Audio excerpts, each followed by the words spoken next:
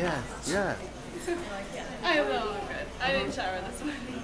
I didn't shower What'd you say? I didn't shower this morning. Oh my god, she didn't shower this morning and she's at work. I know. You shouldn't tell people that, I they might like tell- I it. shouldn't say that to them. There's all the girls at Dempsey's.